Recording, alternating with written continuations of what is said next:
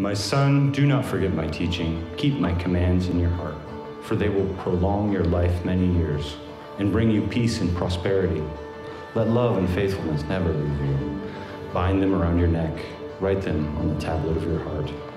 Then you will win favor and a good name in the sight of God and man. Trust in the Lord with all of your heart and lean not on your own understanding. In all your ways, submit to him, and he will make your paths straight. Do not be wise in your own eyes. Fear the Lord and shun evil. This will bring health to your body and nourishment to your bones.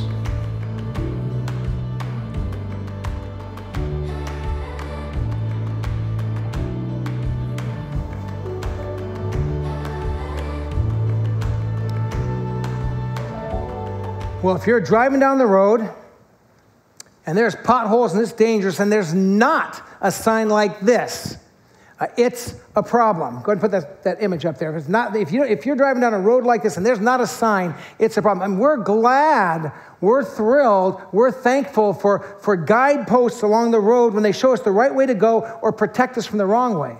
And if we're heading down the road and there's not a guardrail like this one. I mean, if it's a windy road and it's dangerous and you're not quite sure if you get close to the edge what's going to happen to you, man, we're thankful for guideposts. We're thankful for guardrails. They show us where to go, kind of how to stay and keep ourselves safe on the road. And, and in our personal lives, you know, often you, you might think, man, wouldn't it be great as I just go through life and my relationships, and my finances, and how I use my words, in every part of my daily life? What if there were guideposts and guardrails that gave me wisdom for how to live my life? And here's the good news there are. The whole Bible is filled with God's wisdom, but kind of right in the middle of the Bible, this book of Proverbs particularly gives us these guideposts, these guardrails, this wisdom for all of our life. And there's a lot to be said about relationships in the book of Proverbs. So we're in the six week series, just in week two, of really thinking about what is it that, that God teaches us. Because here's the thing you can, know God's, you can know God's knowledge and his insight and what to do and not live it out. You grow in wisdom when you know what God wants you to do and you actually apply it. Wisdom is taking what you know is right and actually doing it. Folly is taking what you know is right and not doing it, not applying it. So, wisdom is the outworking of God's knowledge, of God's truth, and He gives it to us in a way that will guide our lives. So, let me ask you a fundamental question, and I want you, in your own mind, to answer this question. Here's the question Do I believe God is smarter than me? I mean, do I believe that God is smarter than me? And even if you're not a Christian, if you're not a, not a believer in God, do you believe if there is a God who made everything and who runs the universe, do, would you believe that that God, if there is such a God, is smarter than you? And, and our, our quick response is, of course, I believe God is smarter than me. But do I really believe that? Do I live like I believe God is smarter than me? Or do I, when God says this is the right way to live, and I go, but I kind of feel like doing this, do I do it my way? And every time I do it my way, guess what? Guess who's not living like they think God is smarter than them? Me, because I'm doing it my way. Do I really? And so I was thinking about this, and my mind thinks in pictures. If you've been around Shoreline at all, I think in pictures and props and visuals, and I'm just kind of that's the way my brain works. So I started getting this picture of first God's wisdom and God's able ability to kind of run the universe. So I thought about our solar system. I want you in your mind to try to picture our solar system. If you can't picture it, just look up on the screen. Okay. So so you know, our solar system functions day in and day out with this order with, with our sun and these planets moving around it. And so I, I was thinking about this. I'm not, I'm not a scientist, I'm a pastor. So I was thinking, you know, how fast I know that the sun that the sun is in the center of our solar system, and that our planet, the Earth, is moving, is, you know, is flying. I mean, think about this: flying through space, our planet around the sun. But so I did a little research. How fast is this Earth that we're on right now? How fast is it flying through space around the sun? Here's the answer: 67,000 miles an hour. 67,000 miles an hour. Now, somebody recently broke the, the two hour barrier for a marathon, but they weren't running 67,000 miles an hour. All right? Our planet is flying. And so if you add that up, our planet is moving around the sun about 1.6 million miles a day. And it takes 365 days to get one time around the sun. That's how huge that orbit is.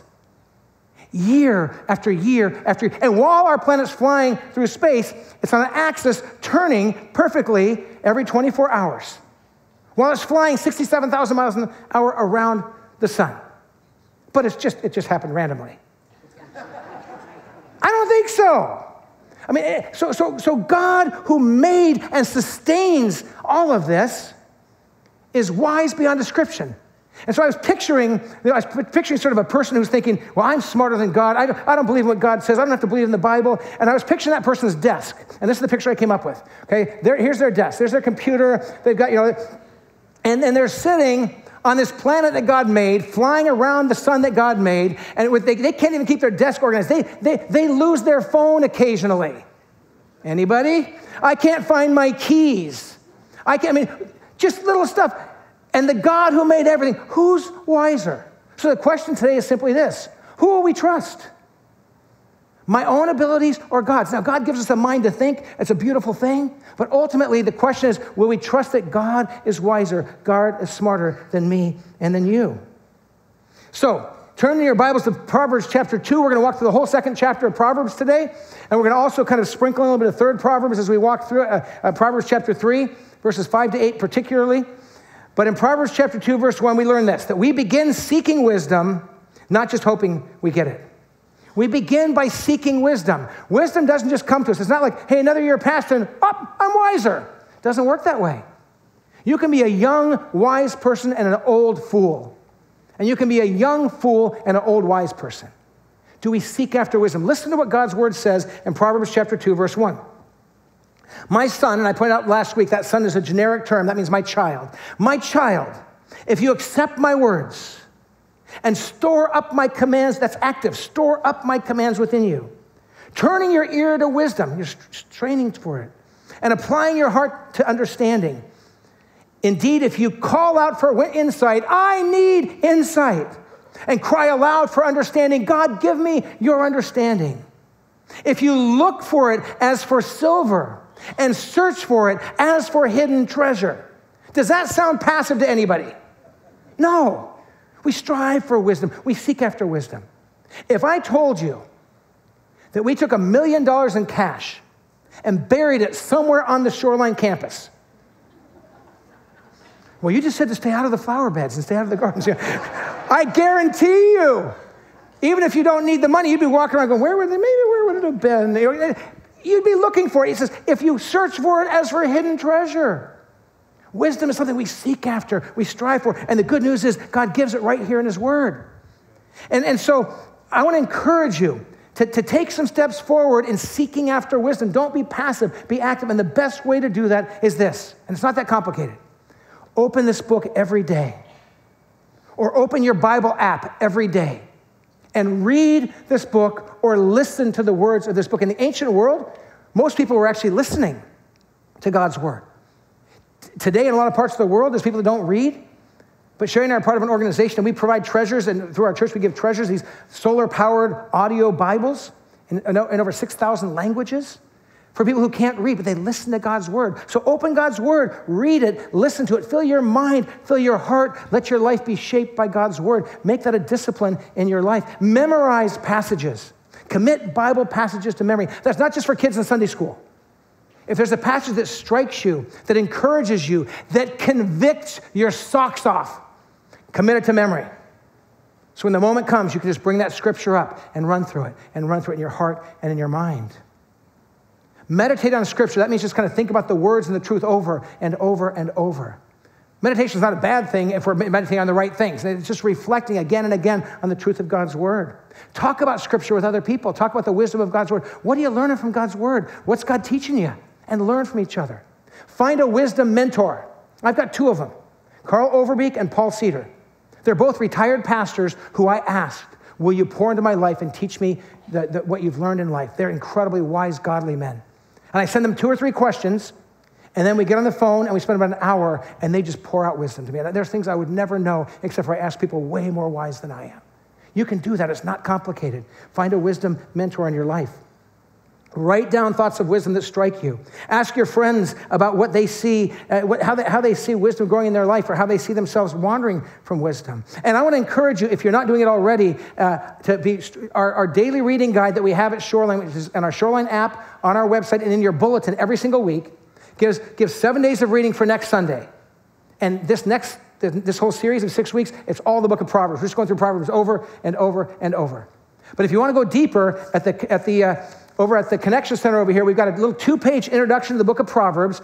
Pick that up, whoever you are, pick that up if you want to just get a perspective on Proverbs. But then also, we have kind of more of a devotional book on Proverbs by Timothy Keller, great pastor from the New York area. And then also the, the NIVAC commentary series. This is a commentary that starts in the ancient world, does the ancient context, how do you translate into the modern day world, and what's it mean for us today?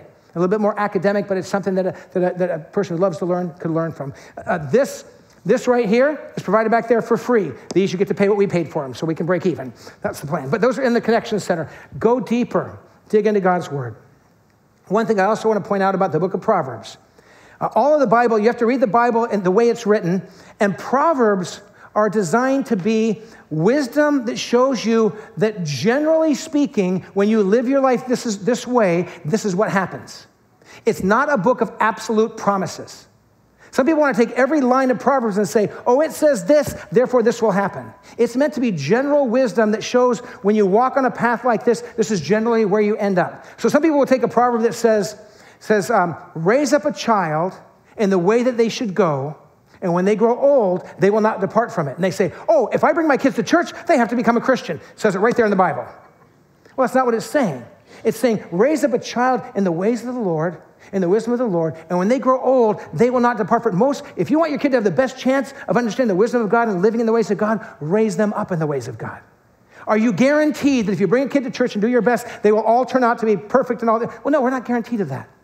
It's, it's a guideline for living that brings the wisdom of God and so, and so just as you read Proverbs, it, it's, it's God's wisdom for how to live our lives in the best way. And he says, and this is the kind of direction it takes you. But it's not, if you hold, if you want to say every verse, uh, it's guaranteed to turn out the way it says, then you're going to find yourself in trouble because that's not what, you know, if somebody says, listen, Proverbs says, if I live as a wise person, I'll have prosperity and a healthy life. So I'm going to have all the money I need all the time and I'll never be sick.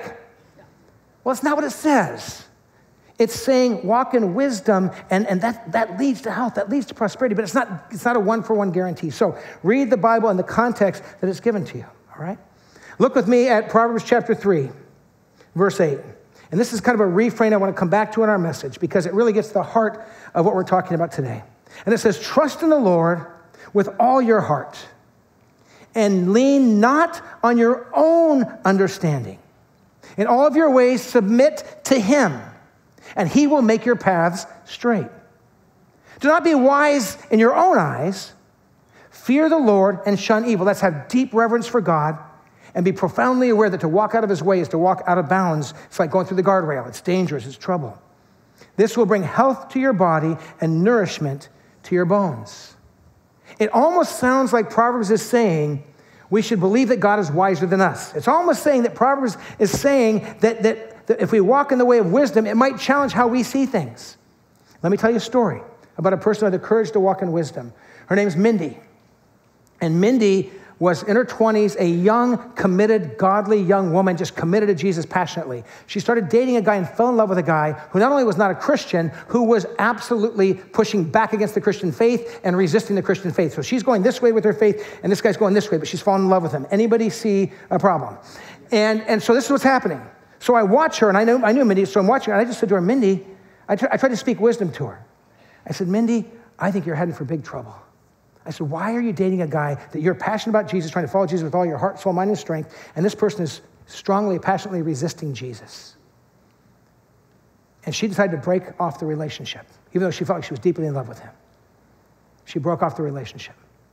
And this guy, who also loved her, so I needed, now I guess I needed to dig more into the Christianity. He started to study and learn, and eventually came to the point where he gave his heart to Jesus. They started dating again. They got married. They have six kids. Those six kids are my nieces and nephews. You told your younger brother's girlfriend she shouldn't be dating him? Yes, I did. I gave her wisdom. She had to decide the Bible talks about these things. We're talking relationships, right? Wisdom for relationships. And so, and, and you know what? She praises God for that. He praises God for that. And their kids praise God for that. They really do. And my brother, my brother is now not only a school teacher down in Southern California, doing all he can to, to shine the light of Jesus in a, in a context that's very tricky and difficult, but also he's a worship leader in a, in a local church. And he loves Jesus passionately. I, I thank God that Mindy trusted in the Lord with all her heart and leaned not on her own understanding. That all of her ways she submitted to God, and God made her path straight. It takes courage to walk in wisdom, but it's transformational in every part of our lives. If we seek wisdom, God does many things we can't do on our own. If we will seek God's wisdom and walk in His wisdom and learn His wisdom and seek to follow His wisdom, things will happen in our lives that wouldn't happen on our own. Look with me at Proverbs chapter 2, verse 5. The Proverbs goes on and says, Then you will understand the fear of the Lord, that awe and reverence of God, and find knowledge of God, for the Lord gives wisdom. From His mouth come knowledge and understanding. He holds success in store for the upright. He is a shield to those whose walk is blameless, for he guards the course of the just and protects the way of his faithful. Now remember, Proverbs is giving a big picture of how life tends to work when we walk in the way of wisdom. Here's what, here's what it's saying. It's saying there's certain things that start to happen when you walk in wisdom that often don't happen when you're not walking in wisdom. So here's a question. Would you like, would you personally like any of these four things? Would you like this in your life? Would you like knowledge? Greater, you know, greater knowledge. Would you like understanding of how things work and the best way to live your life? Would you like knowledge, understanding? Would you like success? And would you like protection? Because what this passage is saying is when you seek after wisdom, when you strive for it like silver, when you want it more than hidden treasure, when you, when you gather wisdom, and then when you walk in the way of wisdom, because you can have knowledge and not apply it, and you're not walking in wisdom. When you live in that knowledge and you apply it to your life day after day, it says the kind of life that tends to result out of that is a life filled with knowledge, understanding, success, and God's protection. That, that's, that's kind of the normal course that you set yourself on when you walk in the ways of wisdom. And so let's go back to the Proverbs 3 passage again. Trust in the Lord with all your heart. Lean not on your own understanding. It doesn't mean don't use your brain, but it means if what your brain's coming up with and what God's brain's coming up with are slightly different, go with God's version right? Go with God's wisdom. In all your ways, submit to Him. My way, His way. God, I'm going to do it your way. In all your ways, submit to Him, and He will make your paths straight. Do not be wise in your own eyes. Fear the Lord and shun evil. This will bring health to your body and nourishment to your bones. Let me tell you another story of someone having the courage to follow God's wisdom. Uh, Walt showed up here at Shoreline on a Sunday afternoon to a meeting in the Parkside room over here. He was with his wife, Liz. Walt was a business leader, a vice president in his company just down Garden Road here a little bit, coming to Shoreline Church. Vice president on his way to kind of the next step in his corporate life, enjoying life, things going well. Came to an evening here at Shoreline, and we talked about Organic Outreach International, about launching this new ministry. And we were talking about the vision for it, and we felt like Shoreline could be a place where we could actually help churches all around the globe. And he sat there through that whole casting vision for that ministry. He came up to me afterwards and he said, This is huge. This needs to happen. Shoreline can do this. We need to help churches all around the world do a better job of going out and sharing Jesus. He said, and so he said, this, this is, and I, he's trying, to convince me it's important. Sherry and I have been doing it for 30 years, right? And he's going, this is, I, am like, I agree, Walt. I didn't know his name. I said, you are, and I just, you know, I got to know him a little bit. And I said, he was so excited. I said, hey, do you want to grab lunch? I'd love to talk to you more about it. We went over to the airport here on the Wednesday. So a couple days later, we go to the airport for lunch. He shows up with a notebook with pages of, okay, so here's what you got to do.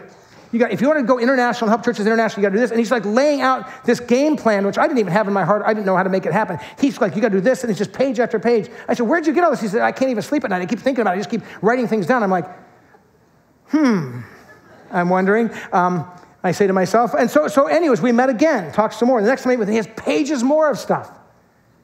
And I said, I finally said to him, I said, Walt, is there any chance that God could be leading you to leave the business world, take a substantial pay cut, and serve Jesus by leading this ministry. Because I'm a pastor of a local church. You may not notice this, but I actually pastor a church. And so I'm, I said, I got a full time job. I said, but I need someone to partner and lead this thing. And he, he laughed. He said, oh, no, no, no, I guess here's ideas for you. This is not for me, you know? And, and so then a little bit later, I met with him and his wife and talked some more. And, um, And fi- I finally, and Walt's a numbers guy. So I said to Walt, I said, Walt, okay, like what percentage are you open to leaving your entire life and your, all that you planned for and all that you're doing and coming over and coming into ministry and running this thing? And he thought about it and he said, 25%. And I'm thinking, so you're saying there's a chance. Uh, so he says 25%. And I think, okay, that's pretty good. It ain't nothing. Uh, and so we met again. Well, eventually he was up to 75%. And then we were holding one of our organic outreach events here at Shoreline. And the very first day, he walks over to me and he said, he just comes right next to me. He goes, We'll talk later. 100%. Trust in the Lord with all your heart and lean not on your own understanding. In all your ways, acknowledge Him, and He will make your paths straight. I love stories of people who say, my way, my plan, God's way, God's plan. That, the point is not everyone should leave business and go into ministry. God wants tons of great godly people in business in every walk of life, education, everywhere. My brother Jason's still a school teacher, he's also a worship leader.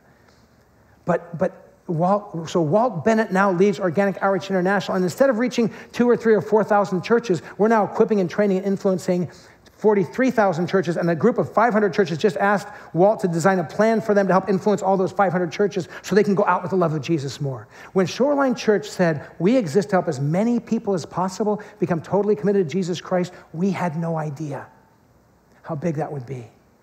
But that, that's what happens when you trust in the Lord. Wisdom impacts everything in our life. If you don't believe it, ask Walt. His whole life has changed, but he would tell you it's changed for the better. It's just very, very different. Wisdom impacts everything in our life, in particular, every relationship. If you want to see your relationships transformed, walk in wisdom. It will change every relationship you have in your work world, at school, with your friends, in social settings, with your family, with your children, with your parents, with your spouse, wherever you are, it, walking in the wisdom of God changes everything. And I love how Proverbs 2 continues in verse 9, where Proverbs says, Now God's going to give us a warning that there can be people who are dangerous. There can be, in your relational world, there's people who will be damaging to your life and damaging to your faith. And it says there's two kinds of people in the world there's men and women, and they can both be bad. Proverbs is an equal opportunity employer here, okay? So look with me at Proverbs 2 9. Then you will understand what is right and just and fair and every good path. This is getting on the right path. For wisdom will enter your heart, knowledge will be pleasant to your soul, discretion will protect you, and understanding will guard you. Say, life will be great. But then Proverbs says, but wait a minute. In your relational world, there's some people that will be very damaging. Keep your guard up, all right? So look at verse 12. It starts with men. Wisdom will save you from the ways of wicked men, from men whose words are perverse, who have left the straight paths to walk in dark ways, who delight in doing wrong and rejoice in the perverseness of evil, whose paths are crooked and who are devious in their ways. Proverbs says, Be careful who you align yourself with. If you can influence them, great. If they're influencing you and they're going the wrong way, whoa, be careful. But then Proverbs says, but it's not just men, it's also women. Look at verse 16. Wisdom will save you also from the adulterous woman, from the wayward woman with her seductive words, who has left the partner of her youth and ignored the covenant she made before God, not a covenant keeper, a covenant breaker. Surely her house leads down to death, and her paths to the spirits of the dead. None who go to her return or attain the paths of life. That sounds bad. Proverbs says in your relational world, have wisdom. Who are you around? How are they influencing you? When our boys were growing up, we told our boys, you can hang around with any kids from any background of life. Christian, non Christian, good kids, not you can hang out as long as you're the influencer and not the one influenced. Christians need to be around people of every walk of life. We just don't need to be influenced in folly and to walk away from God because we're around people that are walking in the wrong direction. We have to have wisdom. There's trouble in this world, Proverbs tells us. Wisdom will help you make good choices and decisions. I mean, if you want to just know how to make decisions, how to live your life in every way possible, immerse yourself in the book of Proverbs. I shared last week, I go through Proverbs two or three times a year where I'll spend a month or two and just, I'll be doing my regular Bible reading and I'll just kind of read Proverbs and let it fill my heart and my mind because again and again, God just resets the kind of the, the, the vision of what it looks like to live a, a wise life for his glory. So let's go back to the Proverbs 3 passage again. Proverbs 3 8. So trust in the Lord with all your heart and lean not on your own understanding. In all your ways, submit to him, and he will make your path straight. To not be wise in your own eyes, fear the Lord and shun evil. Turn from evil. This will bring health to your body and nourishment to your bones. Let me tell you another story of somebody who was willing to follow God's ways and not their own. A guy named Howie and his wife Linda. Howie and Linda Hugo felt called by God to start a church. And they were looking at all the different places they could start a church. And God led them to Monterey. From a human standpoint, Monterey is a tough area. It's extremely expensive. There's not a lot of, you know, hard to buy a building and make, you know, this was a warehouse. There used to be like racks of stuff. And this was not designed to be a church. But, you know, it's just, Monterey's a tough area. But they felt a call to leave where they were in a very comfortable setting with all their needs met and kind of the whole life kind of put together and start a church. Howie felt a call to start a church that people actually wanted to go to. The people would say, I look forward to going to church. Church is fun. A church where you can invite someone who's never been to church and they're going to go, I may not agree with all that, but those are nice people. And that's kind of, you know, yeah, I could do that again. You know, a different kind of church that would still hold to the gospel and hold to the Bible without apology, but have their arms open to people right where they're at. Did Monterey need a church like that? Oh, you bet. So Howie and Linda, and with time, their seven kids, trusted in the Lord with all their heart and leaned not on their own understanding. In all their ways, they acknowledged the Lord, and He made their paths straight to Monterey for 15 years. God had that family invest in, in leading this church. I praise God for someone like Howie who would follow the call of the Lord. And the times when the church had no money to pay the staff, and no, I mean, when there was points for Shoreline, and I, I know the whole story, times where Shoreline was basically no, left, no money left. And Howie get on the phone and call people at church, hey, if we don't have more money, we close the church. And the money showed up every time. And I'm so glad they hung in there, following the Lord's ways and not their own. Because our ways are sometimes like, okay, that's enough, hang it up. This is, it's too hard. But God pressed them through all of that. In Proverbs, we see that there are consequences to our choices and our decisions for the good and for the bad. Howie and Linda Hugo make a choice to follow God's call here. The consequence is voila. Look around the room. Look what God's doing. Look at the churches around the world that are being impacted because one family was faithful to follow the Lord. And you don't even know the repercussions of following Jesus and being faithful. But Proverbs uh, 2 20 to 22 will continue on through chapter 2. It talks about the land and how there's certain ways you can behave that will bring the blessing of being in the land, and certain ways that would cast you out of the land. We have to understand contextually. If you think, well, the land, oh, you may have a little piece of land, what's that matter? Oh, you don't understand. In the ancient world, for these people, the land was everything. That was their home, that was their identity, that was their inheritance, that was everything. And so Proverbs says, so that's you know, the land means so much to these people. It says, Thus you will walk in the ways of the good and keep to the paths of the righteous. You're walking God's wise ways. For the upright will live in the land. There's a consequence. They get the blessing of the land. And the blameless will remain in it. But the wicked will be cut off from the land, and the unfaithful will be torn from it, just kind of torn and tossed out. God says there's consequences to walking in wisdom and to walking in folly. And you know what? We all know that's true. Because when we walk in wisdom, things get better. And when we walk in foolishness, things get messy real fast. Or they stay fine for a while, we keep things hidden, it comes to surface, and poof, the bottom falls out. There's consequences for the good or for bad of walking in wisdom. So we can decide. We can decide, I will trust in my insight, in my perspective, in my ability, or I can trust in the Lord and his understanding we can make a decision. I will trust in, in my abilities and my skills, or I will trust in the Lord. Now, God gives us our abilities and our skills, and we should use them. We should think well. But, but I'm saying when our ideas and God's ideas come into conflict, when God says, This is the way to live, and I say, But I prefer this, the wise person says, I'll align my life with the will of God, even when it's tough, even when it stretches me. So look with me at Proverbs chapter 3, beginning in verse 1 this time. I want to read that same passage, but I want to start, I kind of ramp up from verse 1 and get up to verses 5 through 8. It says, My son, my child, do not forget my teaching, but keep my commands in your heart, for they will prolong your life many years and bring you peace and prosperity. Doesn't that sound good? They'll prolong your life many years and bring you peace and prosperity. Again, it's a general direction of life, not a promise that, okay, if I follow God's wisdom, I'll live to be 107. Although I just welcome, I just said hello to a gal who's 102 She was here with her son, and he was, uh, we stopped and had a little chat as they were heading out of church this morning. They were here for first service. They will prolong your life many years and bring you peace and prosperity. Let love and faithfulness never leave you. It's such a beautiful picture. Bind them around your neck, write them on the tablet of your heart, and keep it close to your heart. Then you will win favor and a good name in the sight of God and in the sight of people.